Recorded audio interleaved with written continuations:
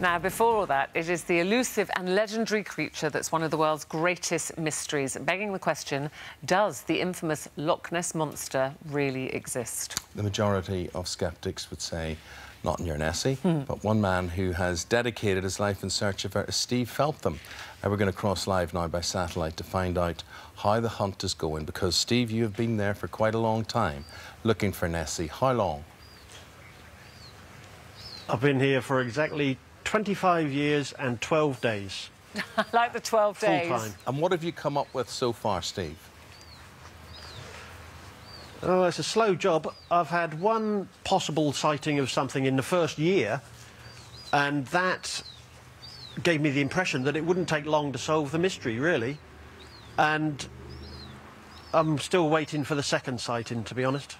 And do you totally believe there is a Loch Ness monster, or what do you think it is?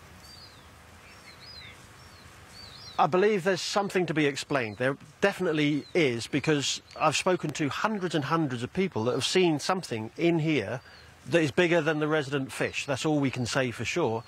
What it is, is still anybody's guess. It's still the world's greatest mystery as to what the answer is going to turn out to be. But something big has been swimming about in here for a long time.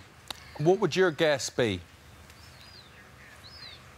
My best guess I'd say the most likely thing at the moment is a thing called Wels catfish, but it doesn't really mean that that is the answer. It just means that ticks more boxes than dinosaurs or spaceships, which are other front runners for the explanation. Steve, so we can see people wondering... I'll photograph what... We can see people wandering about there already. Is that tourists already arriving to, to have a look at... Oh, there they are. Good morning. We're going for a swim. Um, are people constantly there Little, Yeah, they do a lot of swimming. they, no, it's uh, obviously this, this is the height of our summer, so um, there's a few people about now, but a lot of the year it's very, very, very quiet here. There's still me here with a pair of binoculars watching, but not yeah. so many tourists. Well, well, give me, give us an insight into your day as a monster hunter. Uh, what it involves and uh, like what will your routine today be?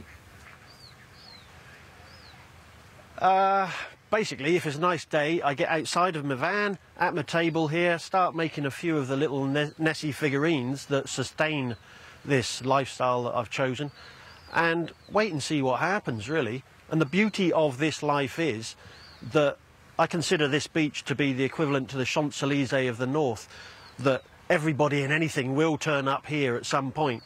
And it does. And so I just sit and wait and see what next adventure comes along and later on this afternoon I might end up out in a boat out there or I might who knows what who knows and that's I'm... the beauty of it the unpredictability of this adventure and, and you know making a living must be quite unpredictable as well if I've picked you up correctly there um, You've, you've, little souvenirs that you can perhaps sell. Do people come and seek advice yeah. to you? You're a bit of a tour guide, or how do you do that? We're going we're to show the, the vehicle that you actually live in, and this uh, this is a converted what? What did this used to be?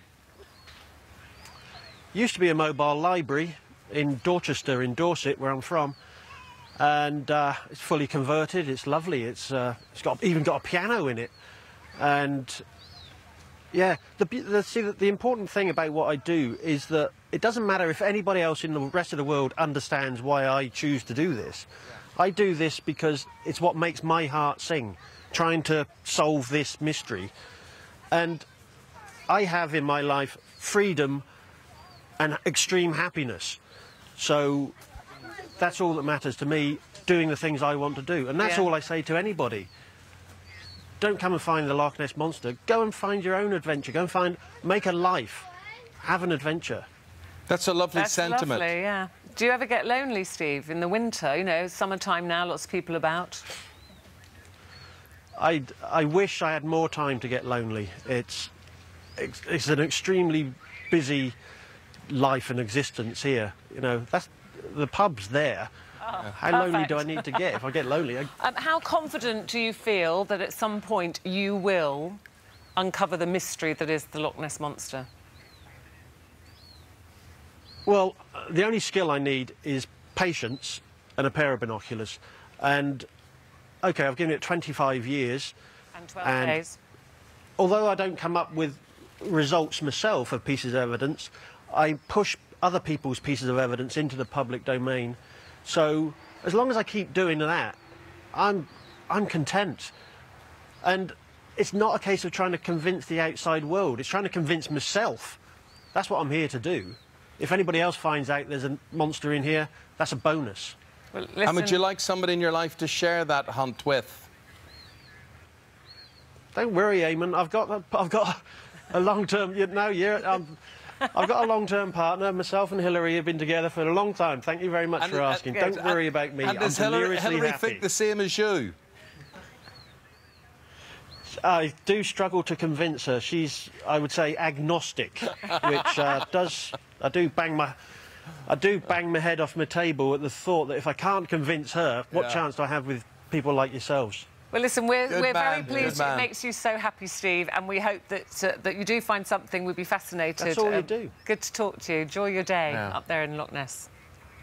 Absolute pleasure. Cheers, cheers. But isn't it lovely to see a man so content and happy?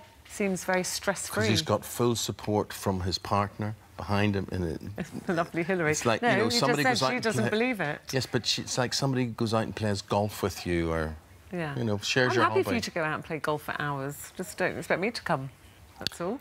Uh, do you think it exists or not?